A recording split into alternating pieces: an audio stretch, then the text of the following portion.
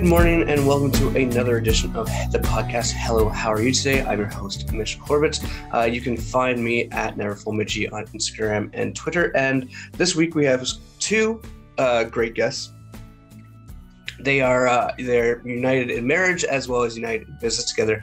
I'm talking about my friend uh, Quinn Aden Corkal and uh, Jessica Jean Marie.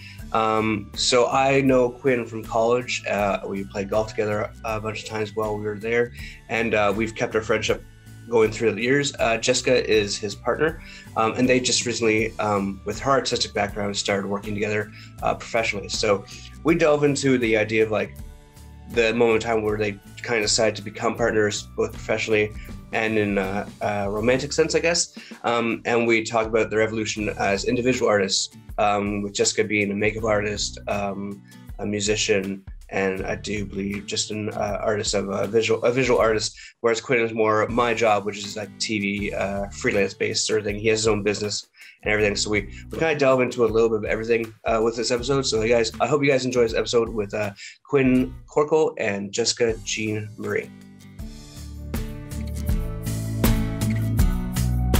All right, uh, Quinn Corkal and Jessica Hayner, welcome to the podcast. Hello, how are you today?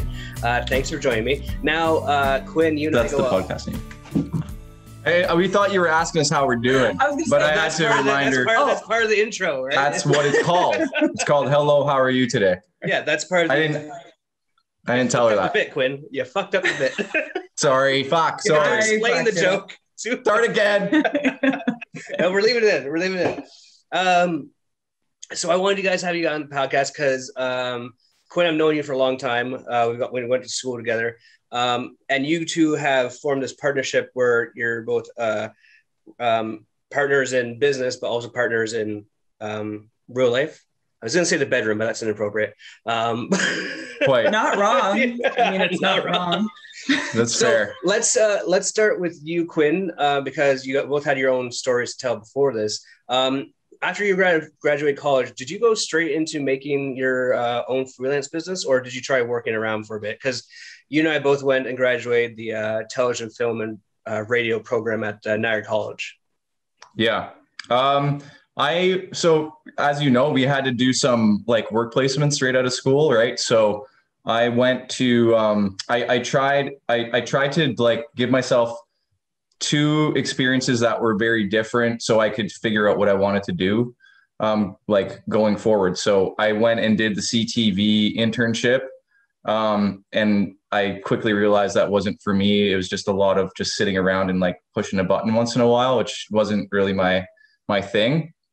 And then I the other thing that I did was uh, the Ontario Police Video Unit, and they had like a crew of like three or four guys, and they were producing really high end uh, stuff, like really high end videos um, for the OPP. So I was like, that is what I want to do. So I, as soon as I was done that, I started just sort of, I sort sort of made my own company, but I didn't really know what I was doing. So it was sort of like freelance slash starting my own company and just like, you know, working that way. Um, and then yeah, since then I've I've had a full time job since then. I've I've kind of bounced all over the place, but um, yeah, that's where I started out of school. And Jessica, you started um, in makeup and then went on transition to on camera stuff. So what was that? How did you get first get involved with makeup, and uh, why did you want to transition over to being on camera? Well, I I grew up in sort of the performing arts in a way. Um, I- loved doing plays. I, I took dance. I loved performing. Um, and all throughout high school, I was pretty involved with like the the drama stuff. So it was like super popular, as you can imagine. Involved Um, with drama, like drama, acting drama, or a school, high school kid drama. High school drama, no High acting. drama. Um, did you go to Degrassi High? right? Um, Pretty much. yeah so I, I i always really loved acting but i've always been sort of like a shy person so the idea of like pursuing that as a career i, I put it in sort of the you know pipe dream category and another thing that i loved doing was you can say fucking stuff right Are we allowed to swear? yeah I, I meant to ask you. I always okay um i loved fucking around with makeup and I would like have my friends come over and I'd do them all up and we'd do these photo shoots and and just be creative and have fun. So I got into makeup in um, high school. We had to do a I did a co-op program and they kept trying to I said I wanted to do makeup but they kept trying to put me in like the Bay beauty section. It's like that's not That what I want to do. So I ended up seeking out um, a special effects artist in Toronto, and I co-opted with a special effects studio, and then worked in that for a while. And then when I hit my early twenties, I was kind of like, "What am I doing? Time's ticking away. You worked on I really some- want to act." Worked on some cool movies, by the way, too. Yeah, which only sort of like made me more curious about being on camera because now you're on set and now you're like in the So environment. what did you work on then? Um, I worked on a film for ABC Disney called Nature of the Beast. I think it was like a straight to TV thing. I never saw it. Um, Silent Hill, uh, the first one that was shot in Toronto, and then um, some other ones that I really can't remember the names of. Resident Evil, all of them. I didn't know. I didn't Res- work on those. No. I didn't work on the Resident Evil, but the studio, like Just the guys kidding. that I worked with, did the Mhm. Resident Evils. Yeah. So like when you're doing the makeup and you kind of want to make that transition into acting, is like, is there a way that you can do both? Like, or was it you had to choose? Well, for me, I chose flat out because as PS, when I said I was working in makeup, I was like, you know, the the trainee or like the apprentice role. So it's not like I'm on set getting to actually apply the makeups. I'm like assisting the guys. I'm working in the shop. You know, the hours are set hours. So you're doing like 12, 16 hour days sometimes and it's really grueling at times. And Through that. I started getting a little bored of that. And I also happen to have like some bad allergies to a lot of the chemicals that we worked with because there's That a lot can't of chemicals. That can't be a great experience. Well, I loved it. I wouldn't change it for anything, but I definitely things sort of started pushing me away from it. And then, um, yeah, that's sort of, you know, you you sort of bottom out a little bit of like, I can't do this for the rest of my life. So, what am I going to do? So you go to Niagara College for acting, So and the, then and the second Niagara year the program is running. Yeah. Oh, you went to the Why Niagara not? College acting program. Yes. Yeah, Yes. that's actually how I'm. So we graduated, and then the next year, Jess started. Um, yeah, and then for- you for the pro- program. you went back. Is that how you guys met? Is you worked on a project for Niagara together? No, we met through. I went to. I was in the same class as Quinn's younger brother. yeah, So, so, that's we I met was- through Quinn's brother. I was trying to build up. So back circling back to when I so I, I just started my business, and I was looking to get a hot girl to like do a, Oh. a little like promo video for me for the business, and uh, my brother. This is pre uh, pre any any dating app or anything. My brother starts flipping through Facebook of the girls that are uh, in his class, and I was like, her. And then you know, then it just started like went from there. We started talking, and um, we never ended up doing that video. no. Never ended up doing that video, Mitch. No. So I don't know. Maybe we'll do that someday. Oh, sneaky play. Maybe. It might have been a sneaky play. How long did it take for you guys, kind of like, because you have the uh, you have the Quinn Aden um, Link Three Media uh, personal freelance business, and you guys work together. So how long into that relationship were you guys like, oh, let's partner together and use all of our skills and make this a thing? 10 years. Uh that's that's recent. So i mean uh, like from a full-time perspective it's it's recent. It's about a year uh, that we have joined forces full-time but we just started dabbling on creative projects really early on. Like jess with that stuff she was talking about where she would um you know do photo shoots with her friends when she was in high school. Even when i met her she was still doing that stuff with her friends going into the basement of her parents house and like putting crazy makeup on and like using the the furnace room with weird pipes and shit everywhere and you know getting creative. And and I saw like early on how how much of a, an artistic director she could be. So I always kind of knew I would try to poach her away from whatever she was doing. And then uh, during COVID like the work hours at at the store she was working at um, were like dwindling down. And she was doing some work for me like in a part-time sort of fashion but I was like, quit, get get the hell out of there. Uh, and I kind of stole her. Um, and it's been it's been amazing uh, having her kind of join because ever since she's joined, uh, the quality of the work has gotten so much better. The the client communication has gotten better, especially on set. As you know, Mitch, like you're you're out there, uh, you got so much to worry about when you're like a one man band. You know, you got you got the lights, you got the camera, you got whatever. You're dealing with the clients, you got actors, you got whatever it is. So having someone like Jess there, making sure that like she's like she's always communicating with the client, figuring out what they want, figuring out like what like always keeping that end goal in mind, keeping us on schedule. It's it, has been it's been amazing to to have her uh, join forces. So yeah. So how do you guys uh, balance um, that that kind of business orientation? Like or do you do you not? Because like how create how beneficial um or not beneficial it sometimes it might be is it to have someone who's as of creative as you um professionally and personally? I i will say it's awesome and terrible at the same time.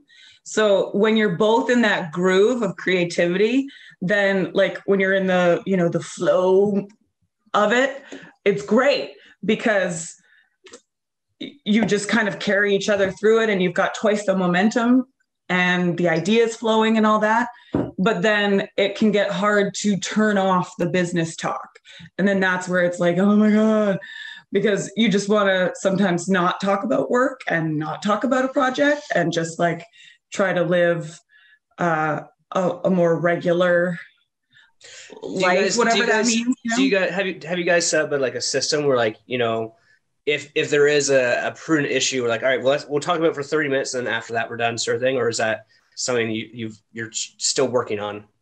It's still a good work question. in progress. Yeah, it's a good yeah. question. Like when we uh, when Jess joined full time, I think I was pretty pumped um, to have like uh, someone there alongside, like, and that also includes like when a client is being a dink, um, being able to like you know you know, just get it get it off your chest. It, yeah. And then I quickly realized like we'd be on, you know, we got two dog or we have two dogs now, but we'd be on on a walk with the dog and I'd just be like, nah, bah, bah, bah, bah, the whole time.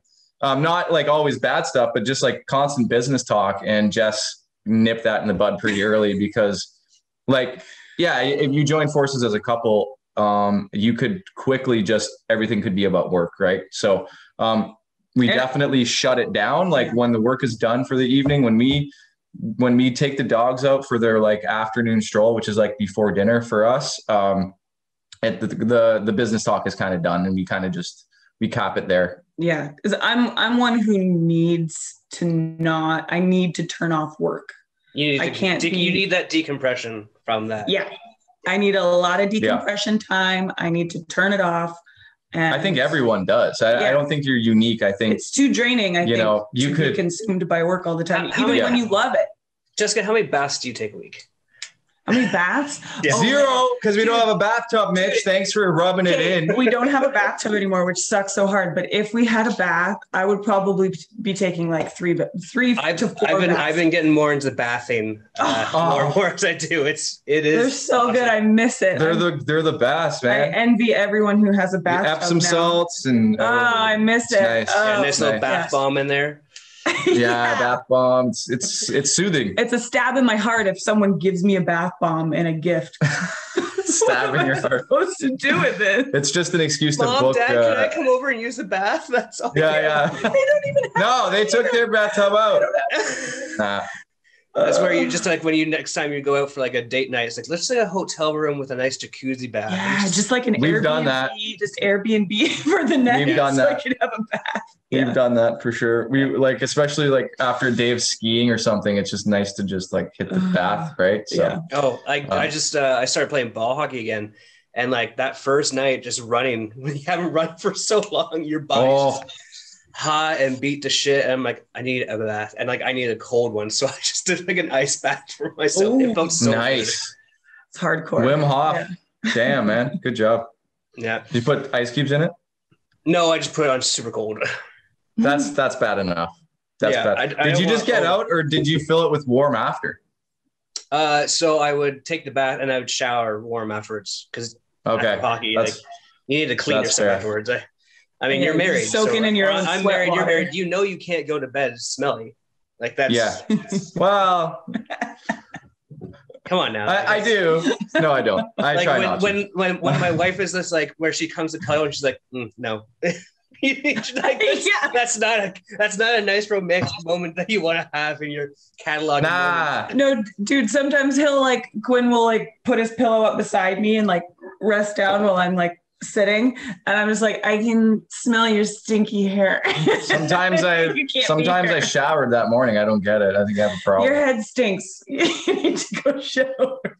Uh, it's usually on the couch. I try not to go to bed smelling like that. Uh, It's usually but uh, I it's it's you mentioned how like as a solo person uh, on shoots like carrying all that equipment all day long is very taxing on the body and then you got to go back and get all the footage it's it's like so oh like, yeah. you are working you're you're almost doing a workout for almost four hours essentially I I forget that often. Um, and then like sometimes I get home, I'm like, why am I so hungry?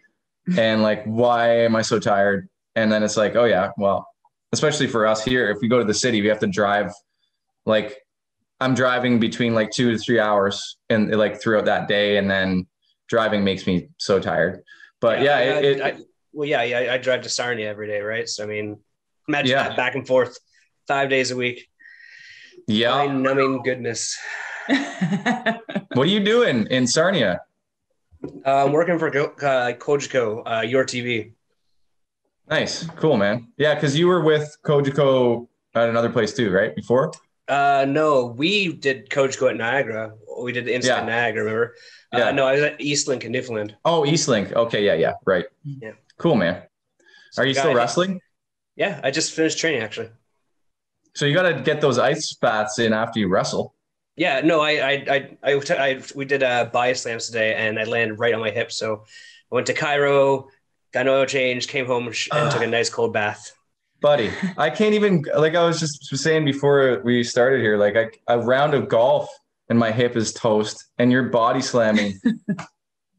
I don't know how you I would be like I wouldn't be here right now. I'd be like, Well, Totally. Quinn, there comes the saying, "Never fool Mitchie." okay, actually I was gonna ask you that earlier. Never full Mitchie when you're wrestling, you have to be full Mitchie, right? No, uh, so when I was in Newfoundland, um, I was West Winchester. I was the mainlander. So I don't know if you know anything about Newfoundland, but they're they are they're an island, right? So they don't really like people from the mainland coming over and like trying and like telling them what to do. So essentially, I was just the bad guy and just would shit on Newfoundland in my promos before every match, and it was fantastic. Oh, that's a good role, man. Nice. Well done. There was one Very time good. I was I was kind of promo and we were in God, I forget where we were, but uh I was like, oh, you guys got a big soccer community here, blah blah. Well, where I come from, we call it football, the true pure name of the sport. And I'm just from Ontario, but they don't know any better. So like, and the, Ah. crowd, the crowd hated me, hated me. I loved every minute of it. That's so good. Antagonist. Love it. Love it. so back to you guys. um, Now back to you. Nah, no, back to you, Jim. Uh, so, what, like, so at what point in your careers did you guys meet, and how, like, Quinn, especially with your experience, my experience being similar, how much have you learned just from working as opposed to like, you know, because I, I can be honest with you, I barely remember anything from college. like, I've learned most of my stuff just Oh, yeah. from working and like doing the work. Yeah. I had to relearn a lot of stuff from YouTube, if I'm being fully honest. Um, because I, I, I don't know about you, but I am terrible at, at remembering stuff. So, like, if we had a test, I would just like sit and memorize the things I knew we needed to memorize. And then the next day it would be gone. A lot of it, anyway. Um, so, and then, you know, 12 years later, or however long it is, I'm realizing the value of some of those things that we learned that I haven't been implementing um, enough in in my work. You know, just stuff like you know vector scopes and things that I was just like, ah, you don't need that unless it's for broadcast. And then, you know, I started implementing it in in my videos. I'm like, oh my god, this makes color correction so much easier. So like just stuff like that. Um, what was the question again?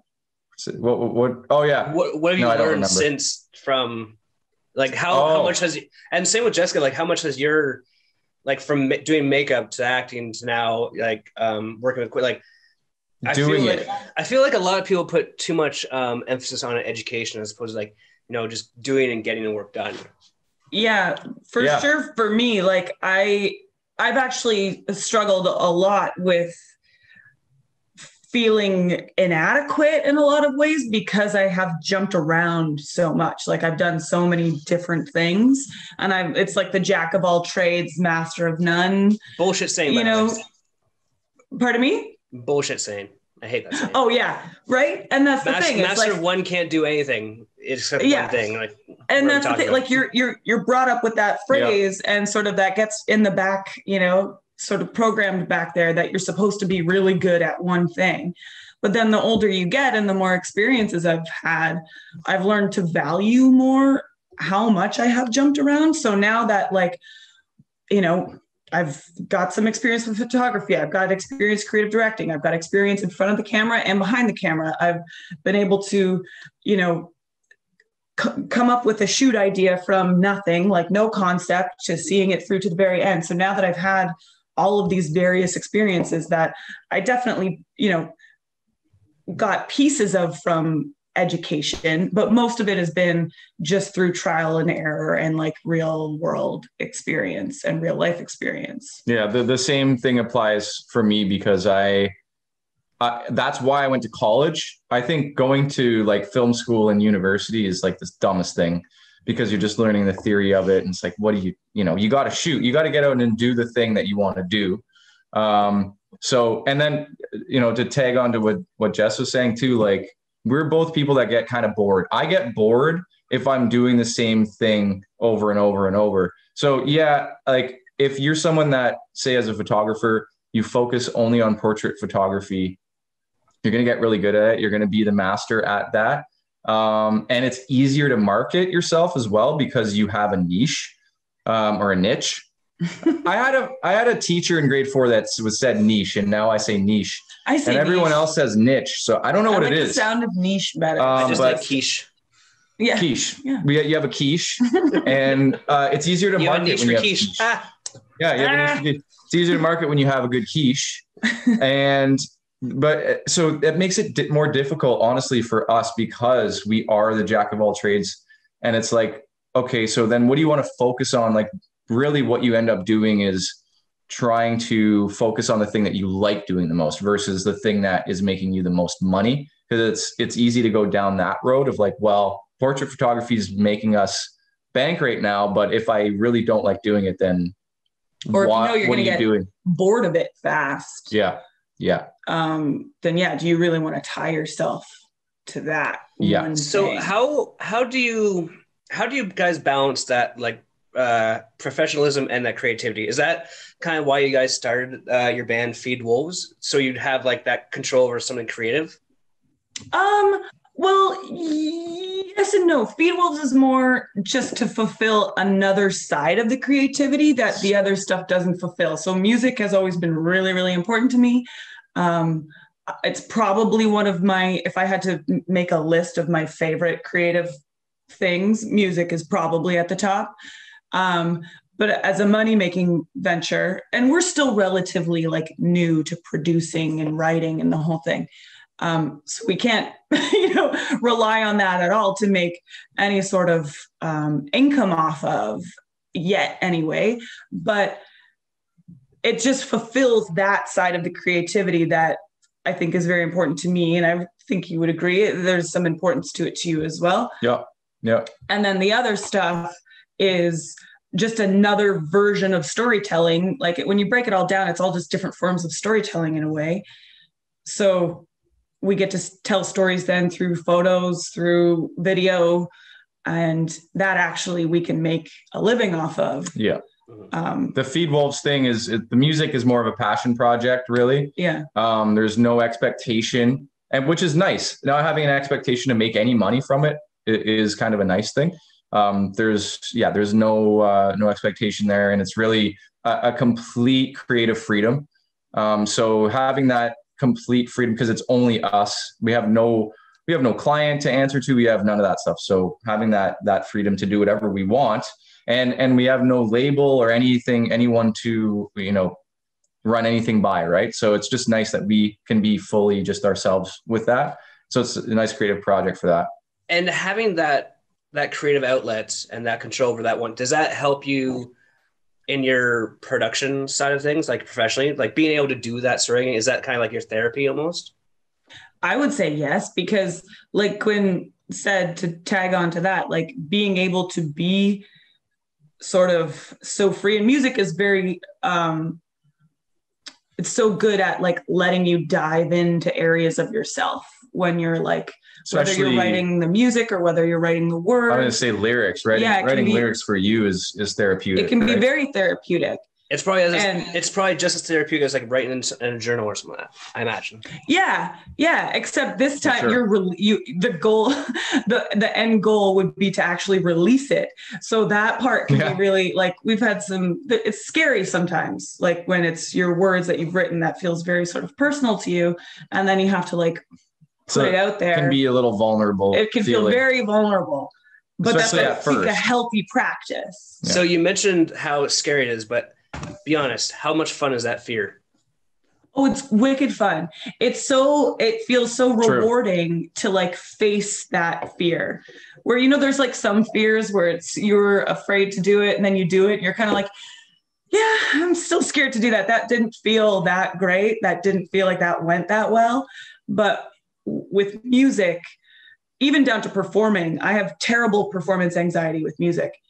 Um, there's something very rewarding about accomplishing it uh, even if it doesn't go great. Yeah, you, you just kind of still feels good. you after. leave there feeling like I did it, even though my body and my brain and everything was telling me not to, and everything was Yeah. telling me to run, get the fuck out of that place, and like like or it- don't release the song, you know- like all the alarms of you're not safe, you're not safe, too vulnerable. and But, just yeah. like going and doing it and i like back to you mitch about like you but you you you do stuff that is scary too you know you you dive into stuff that you have a passion for that's scary like wrestling like stand up all that stuff it it's it's hard it's hard to do that stuff but as you know it's super rewarding when you push through that fear of anything i think. What was it? I was i was listening to i think it was a podcast and they were asking like they were talking about anxiety and the best way to get over anxiety is to just do stuff that you're afraid of and that anxiety will go away super quickly and i I, Yeah. I truly believe that's an excellent because like i mean there's certain things that like being on stage and performing uh, music, music comedy like that's scary but like that's not life threatening like you're not gonna No. like but then there's other things where like jumping out of a plane doing parachuting uh, you know bungee jump Tho- those are different things. But like, if you want to do something like a performance art, every time I'm just like, just fucking do it, guys. Like, it's not the if you do it and you fail, you, at least you can say you did it, and you have a good, cool story to tell. Yeah. Well, Yeah. that's the funny thing is that you bring that up because the the anxiety of like it's not life threatening and yet your body is responding as if it were. So you have to sort of mentally override your physiological response that's saying you're in danger. Like there's a tiger in the bush, even though it's clearly there, you know you're safe It's not even a bush but your body is responding as if it's the same level of like danger but at least we have the rational mind that can sort of be like you're actually And to be and, No and- tiger. and to your point, like I think that's probably why you see a lot of comedians, uh, musicians, like that's why they dabble in drugs, alcohol. Like I mean, this that's mm-hmm. because like that's that is a huge coping mechanism for a lot of those artists. oh yeah Like, yeah I- like if I don't have if I don't have like a beer or two to kind of like loosen up before I hit the stage, it's usually gonna be a train wreck. yeah same yeah Same. yeah. I usually have we do the a same drink or two before we have to get up and Yeah. like we before the pandemic and everything shut down we were doing open mics and stuff fairly regularly and we got to like play a show for a, a local musician and open up for her and her band and stuff and that was one of the scariest things We I've were probably hammered. ever No, done no I've ever done in my life. But even through all these little performances, and we were going to open mics pretty regularly before that show to sort of help prepare us for the more high pressure like gig. And I would say that my performance anxiety went down, but it didn't go away. It didn't Mm. disappear. I just got more confident in knowing that I could sing and play through the anxiety. So it's like not the fear of having a panic attack on stage and not being able to perform. That fear started to diminish. because you knew you could I knew I could, could sing through it. I could through perform it. through it. I, I And so there the were nerves were going to be there, but I could do. I, we could still get through it. Mm, so Yeah. I gained confidence there, but the anxiety did go away. and there were micro progressions there. Yeah. So it's just like a matter of doing it more and more and more and more. yeah, Now, I think it's important to note that, like, you know, having a few drinks before a set's great. I tried going up high as fuck the one time doing comedy. That sounds so was scary. forgettable. What I are forgot you everything doing? I wanted to say. I think I had to do five minutes Dude. on mic, and I was like, ah, two minutes, I'm done, guys. Thanks. Blah blah blah. blah. That That's what sounds I so would do. I can't remember shit when I'm not high. Yeah. Uh, like I would rem- forget all of the jokes. I, I can't believe that when I hear comedians do that, I'm like, how? I guess it's so like drilled in that they just don't forget shit. But True, it- but like if you if you know, notice a comedy special and there's usually like a speaker in the center of the stage, there's usually like a pad of paper or a note with like their oh, true, bullet points and Mm. stuff like that. that's true. Like so if I do you- if I do a five minute set, I'll write down the bullet points of the joke on my hand, just so I don't forget. Right. I would have to do that too. Um, but that would give me, yeah, I wouldn't be good with being high and doing that. I don't think I could do do that playing music either. I mean, actually, to that note, I actually get stoned when we jam, when we practice, because it forces me to like, it almost puts me into like a performance state because I don't remember shit as well when I'm high. So I'll like forget chords and I'll have to like get, think on my feet a little bit. So it kind of helps me get into more of the performance mode, which I don't know if that's counterintuitive.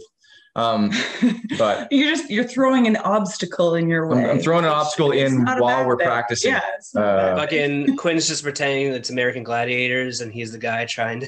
That's right. Yeah. That's right. My life is American Gladiators. I constantly have the theme song playing in my head. So, how beneficial is it to?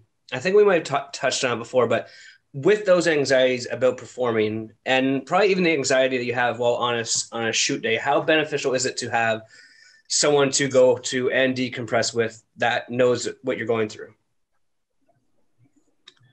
It's very important for me anyway, because it just like not even just Quinn, but like when you read about, you know, famous, extremely successful artists who talk openly about performance anxiety, it just helps you to feel like, okay, it's not just because I'm so amateur or it's not just me. Like it just helps you to feel not so alone. And then on the personal level, to be able to like assess your like i'm my hardest critic we all are right so if i get off from you know off the stage after a little performance and i was like oh my god i fucked up so bad that was terrible he can be more objective and help to be like actually no it wasn't that bad you know yeah we made some bubs here whatever but it wasn't Bubs. terrible so it's it's helpful to have someone to share the experience with and who understands and who's right there with you during the thing.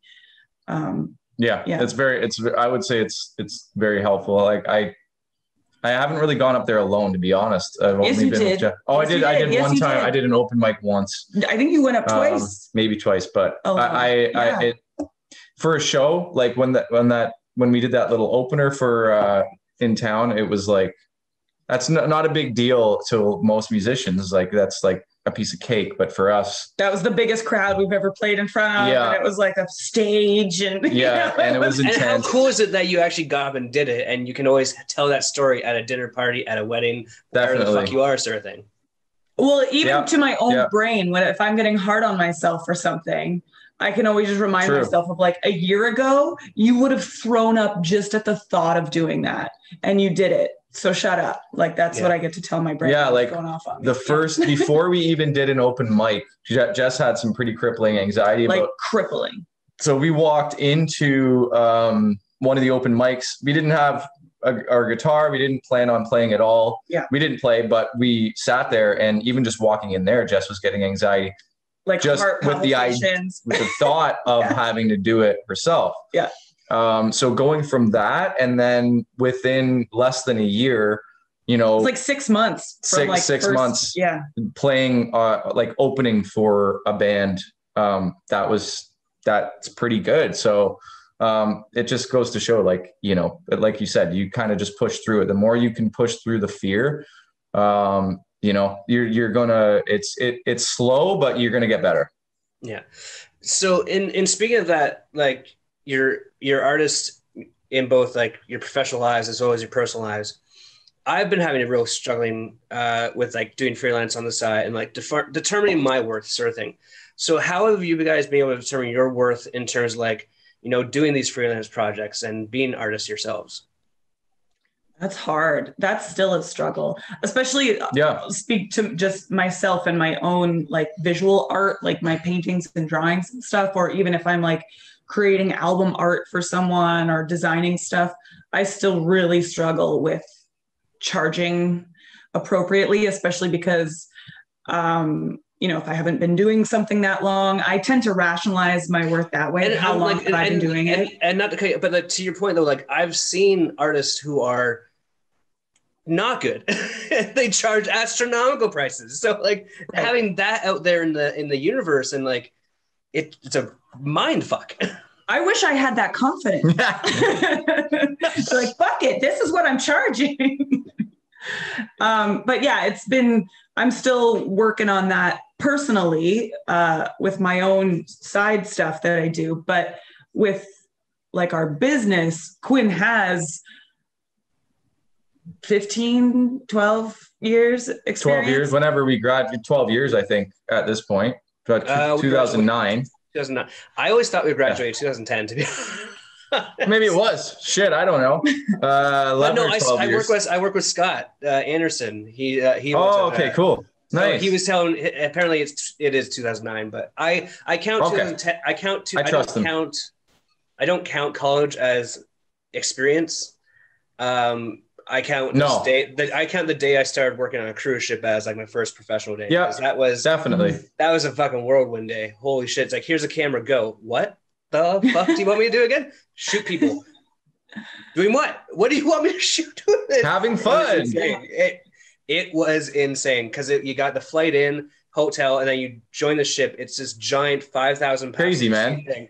You walk in and you're like small white town kid from King Carn, Ontario. He's like, I don't know that language. I don't know that language. I don't know that language. That person, that, where, there's so many different colors here. What the fuck is happening? and then you're That's so cool. You're just given That's a so cool. camera and you go. It's, what a great experience man and Mhm. and you got to shoot so much that you like i could see your skill developing like as the years went by it with the stuff you were posting like yeah you, you just got to shoot so much and that's the same thing as like performance anxiety the more you practice right and it's not only that like i got to shoot a lot but i also got to like um bounce ideas off of other videographers that Yeah. i met over the course of years so like in terms of like Yeah. what you guys do how often do you bounce ideas off not just each other but like do you have a group of people that you're, you're creative with that you that you work together and kind of bounce ideas off of or Um, we do like we've got a couple of people that we sort of work with um, that I've sort of met through different.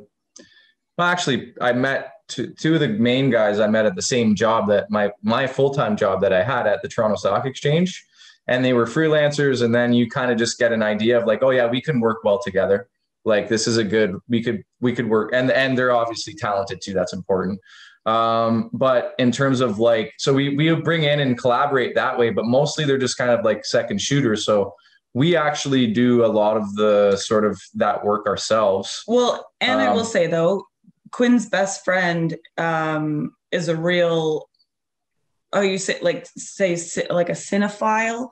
Oh yeah, yeah, So we actually will bounce ideas off of him frequently. So even though he's not working in the industry per se, um, he has a lot of knowledge about it. He did go to school and study film and stuff, and he's just like watches every movie and really studies them. So he's a great yeah. resource for bouncing ideas off of as well. And I want to bounce back to your your question about the self worth thing and and and that stuff. I, I think um, my big thing that I've been trying that I've been wrestling with for a really long time is allowing myself to do creative projects. Um, because what I always do is I hide behind other people's sort of projects and, and their sort of needs. So forever I've been hiding, been afraid to be a filmmaker. I've been afraid to like tell my own stories, tell, you know, my own like documentary stories, like stuff like that, because it's more vulnerable.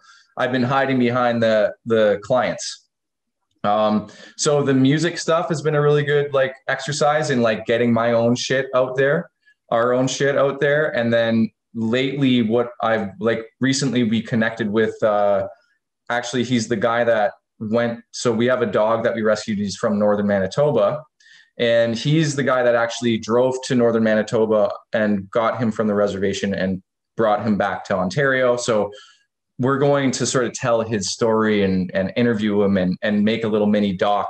That's the kind of stuff that i've been like telling myself i need to do for a really long time and i've just been like either i, I can you know lie to myself and say i'm too busy like I, there's just a million excuses right Yeah. um Yeah, because it's like it's a passion project, so it's not going to make any money. that's it You got to make sure you got to have the time for it, but then it's also the vulnerability of like yeah you know making your own. but when it comes to self self worth and and trying to convey to others that look at what I can do this is what I want to do and this is like these are my these are my skills but if you're just constantly doing work that you don't really want to be doing you're never going to be able to show that to people um, well, I mean, did you see my post the other day on Instagram? I don't I don't frequent the the, the gram so, so, like I was, not I was doing a shoot for uh, Cogeco, right? And we're doing the show. It's called Women Who Lead, uh, and it's about women in business that own their own business, that sort of thing. And like, I was having a week, and I, I took this picture. And I'm like, I should just be doing this freelance. I should like. it's great that I got this job and everything, but I mean, like, it's like I'm I'm I'm borderline like same thing with you, struggling with like maybe I should just start doing more projects that are freelance and fun to do, and maybe try and sell those show ideas as opposed to like, giving it to a company that's paying me X amount a year. Yeah. Sort of thing. Mhm. Yeah, and that's sort of like I've always like I do have the experience. I have the experience there. I did that thing. Like I did what you're doing right now. I decided at some point I want to try to do the full-time thing. I want to get the experience. You know, it was kind of cool. I got to travel across Canada and and do cool things. But just like you did uh, with the cruise ships and stuff like that. But I learned that it's just not.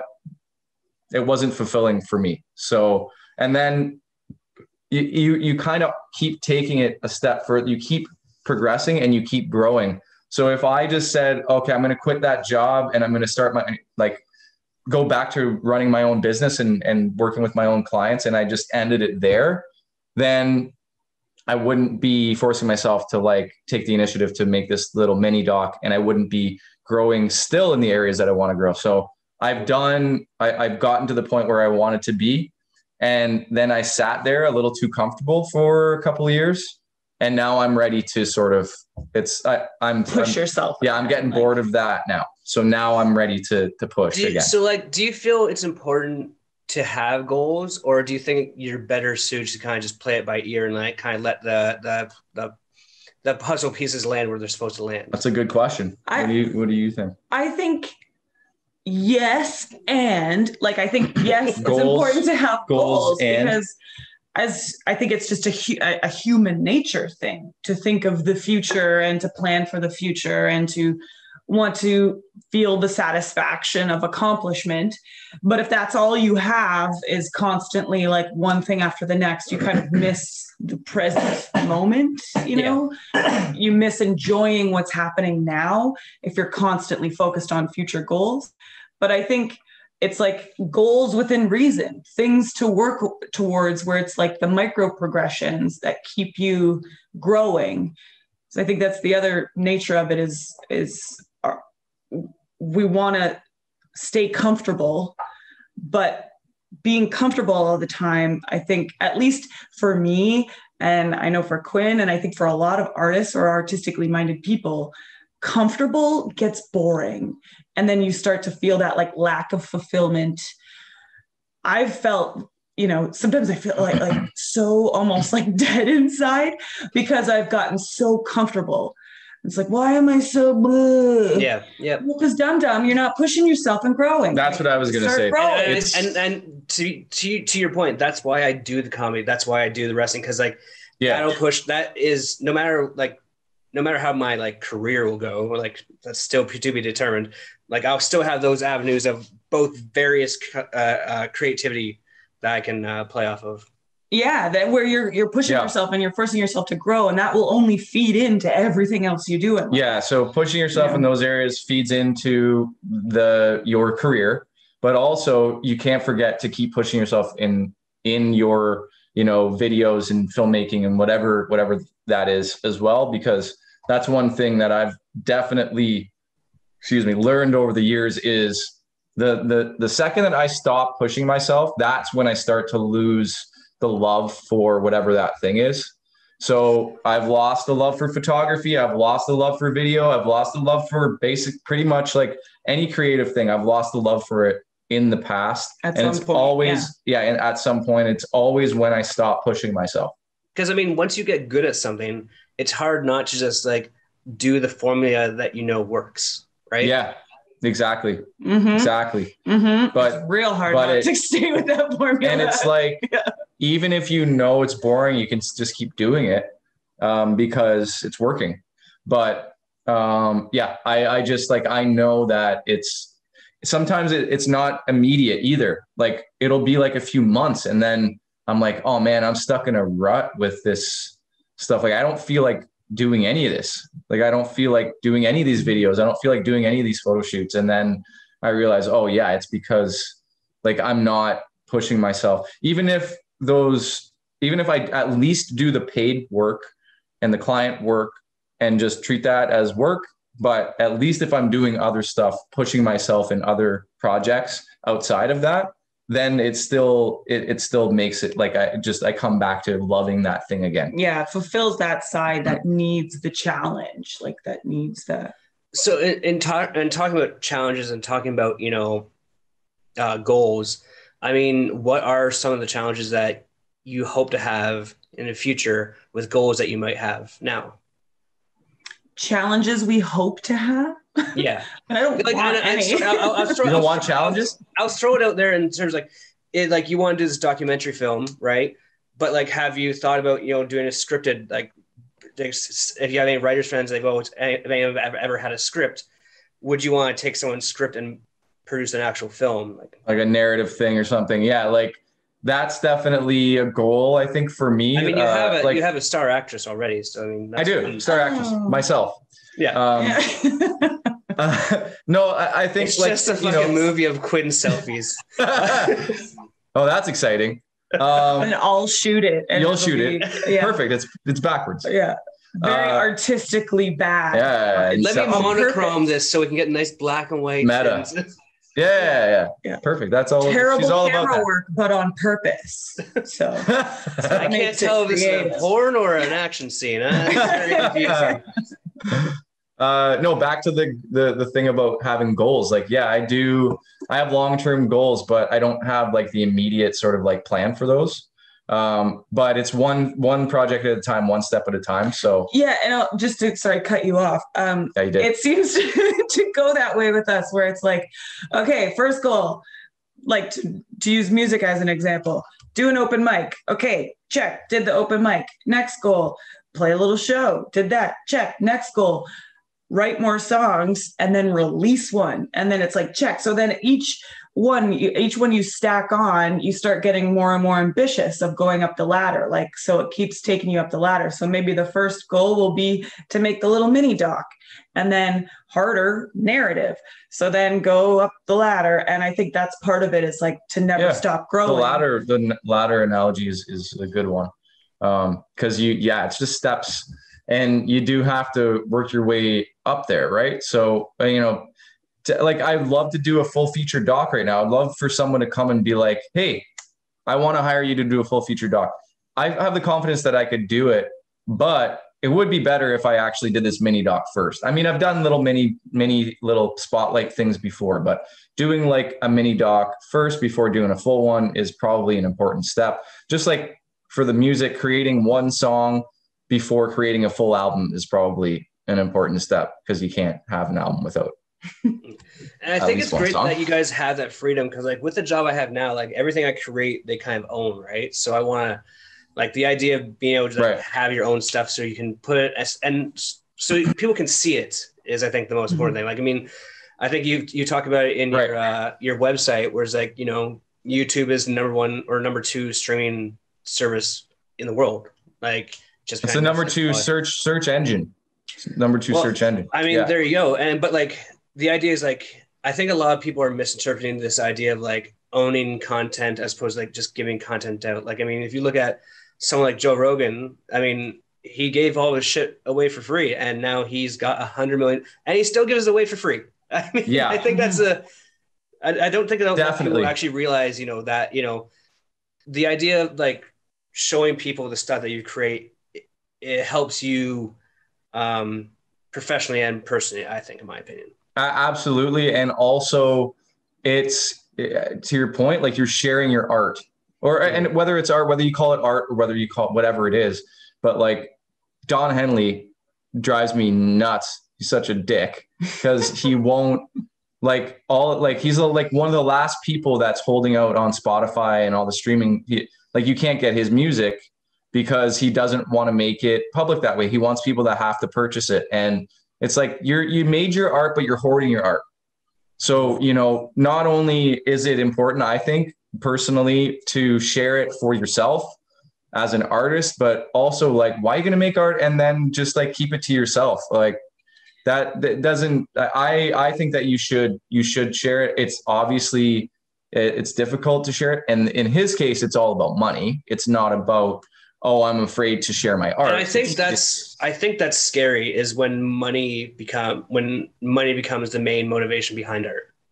Oh, yeah it's so toxic. And that's one of the best things about having the side passion projects because you're not beholden to anyone. It's only yourself and your own internal integrity that you have to sort of hold your, you know, hold your standards up to. So that I think is a really good exercise in maintaining that level of artistic integrity because you're not, there's no money involved. You're not trying to make a living. You don't have to pay your rent off of it. So anytime that we've learned this the hard way i would say but anytime that we have the free time to do the passion projects do the fucking passion projects because it just helps you keep that muscle that artistic freedom and integrity intact and keeps it active. So Yeah. then that can also feed into the paid work. And it feels um, like for you mitch too like i would say it, i know like you come home from work whatever you're you're probably tired. You don't really feel like t- picking up a camera um, you don't feel like getting and editing some another video whatever but i find that unless i'm dog tired obviously and there's different you go through different periods or whatever but oftentimes the passion projects don't really feel like work and and often i feel like uh, it's going to feel like work. You know, I, I get into, I, I have the Yeah. idea. I'm like, it feels too daunting because it, it feels like I'm just going to be doing more work that I'm already doing all day. But it doesn't have that same, even if it's like a video, like we recently did a little fitness video for a client and I really got to use some more sort of cine, cinematic sort of looks and stuff. Um, and like it was a really cool edit. And even that got me pumped up. So Yeah. something that's more in line with the kind of work that you want to do feels less like work. So you may feel like you don't have the time to do it or the energy to do it, but then you sit there or you go and film it and you're like, oh yeah, like this feels good. Yeah. Well, in in in that uh, in that frame of mind, I mean, that's what the podcast is all about. It's like talking. I like talking to my friends, and I have lots of interesting friends, and hopefully, I can be able to make friends who are interesting and talk to them again, sort of thing. So, uh, we've been talking for an hour now, so I'll Damn. let you guys Nice, bro. Yeah, no. Um, so where Wicked, can dude. people- where can people find you guys on uh, your social medias and stuff? Jess, go ahead. Um, you can find me at Jessica underscore Jean underscore art on Instagram. And is it J? How do I say Jean, or how do you spell Jean? J like jeans, like blue jeans. J. Okay, not A Jean as in Gene Wilder or anything like that. No, for some reason Ah, my jeans change it. is jeans. I like that one better. I uh, it's blue jeans. Uh, and is, is there anywhere else? Uh, you, oh, we're, we're in the process of uh, getting Jess's website revamped. So yes, um, that right. once that's ready, it'll be posted on her Mhm. Instagram. And then And also you feed have- wolves. Oh, yeah. you have- Instagram. so Eagles.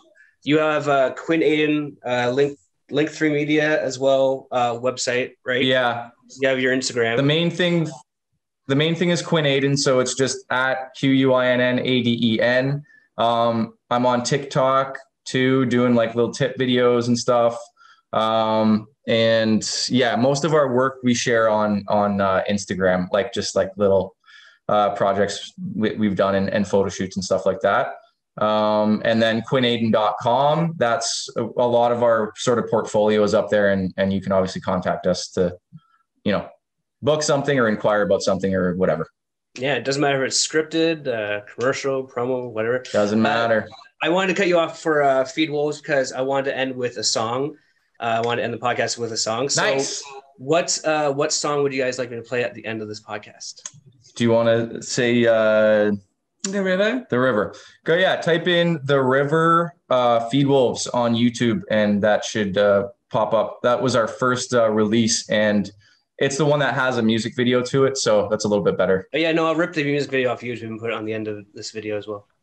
Well, that's See. not legal. I told you. I Don do Henley this. doesn't like that, Mitch.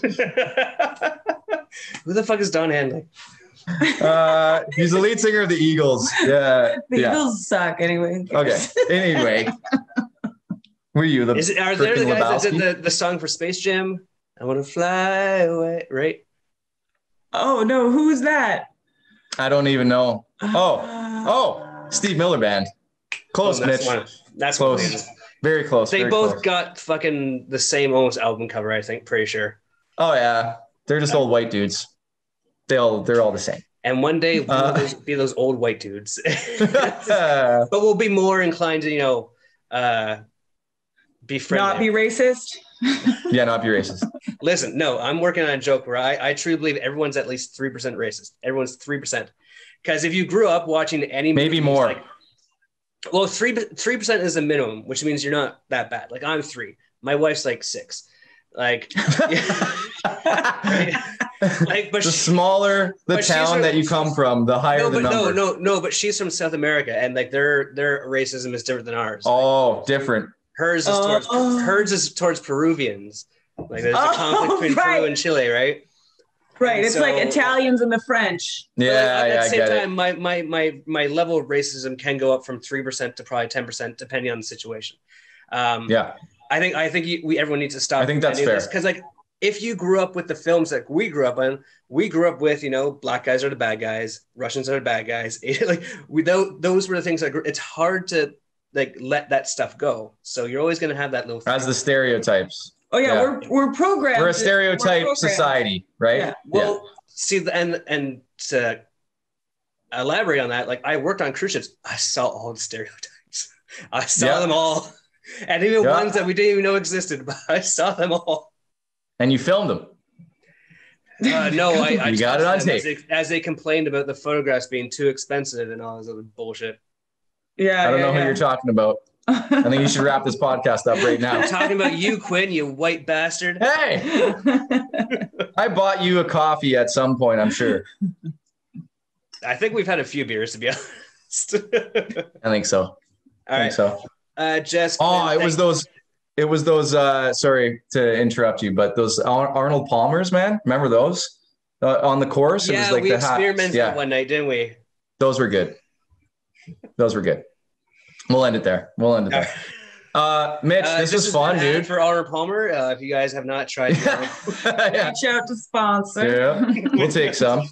Um, hey, man, we'd love to do this again down the road. Uh, it's fun talking about art and stuff. So, uh, I know, Yeah. right? And that's why I, I like this podcast because I mean, um, I've had a few comedians on, I've had a tattoo artist on, I've had uh, wrestlers Cool. on. Uh, I just talked to a guy named um, Eldon who does like Fast Nine movies and stuff like that. Like I've mentioned that to you and everything. So that's kind of an editor. Yeah, yeah. So um, we're gonna keep this thing going, and uh, next I'm top tomorrow. I'm talking to my friend uh, Mark, who owns a brewery in uh, Newfoundland. Amazing. Cool. So it's cool the best 'cause beer it's I've not- actually had. Wow. Awesome, man. And it's not I the, just the lot beer. traditional art. You're talking to All from of brewmasters and creatives. yeah, Yeah, that's like art too. everything is a little bit everything like anything that can be creative in that sense. I mean, unless you were Yep. like, I don't know. I don't know if you. no, Actually, you- you probably could make a call center job creative depending on who you, how you want to talk to them. Like, oh, this call I'm gonna do a voice or. Yeah. well, I think that's the different. Like everything can be creative, but the difference between making it art or just like a creative act, I think, is an art form in itself. And it's all about you know Yeah. your your presence and your intention Agreed. and all that kind of stuff. So yeah. you can be a cook or you can be a chef. Ooh. You know, like Or You you can can really just order good food or HelloFresh and pretend to be both. right there you go. That's fair. Whatever suit- floats your boat, Mitchy. I may not have three good food things in my fridge right now. Sponsor me. yeah. Hello. You'll get there. You'll get there. All right, Jessica. You'll get there, thank buddy. you so much, guys. I really appreciate it. Thank Okay, buddy. you, guys. Nice to Nice to chat with you, buddy. Nice Talk to meet you. Yes.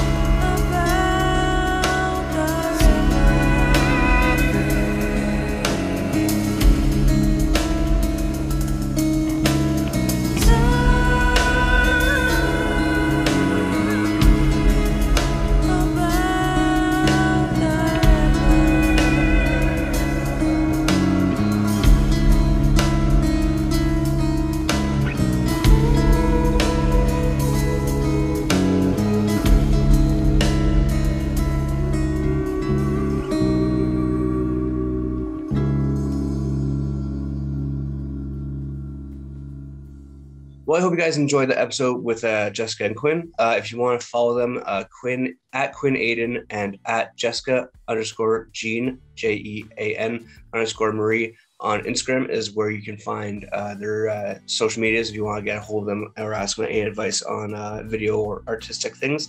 Uh, they also have a YouTube uh, subscription page for their uh, band Feed Wolves, which is Feed Wolves on YouTube. So I recommend you guys check it out. Um, that's it for me today. I hope you guys had a great time with the episode this week. Again, you can follow me again at Neverfullmitchie on Instagram and Twitter. Um, all my stuff should be there to my link tree, so you can check out all my videos I've done. I post on YouTube and stuff like that. So it feels weird to shamelessly promote myself, but I've been told that I need to do that a little bit more. So I'm gonna do that now at the end, and then we'll leave you guys hanging. Have a great week. Have a great day. Have a great uh, whatever you're doing, uh, and cheers.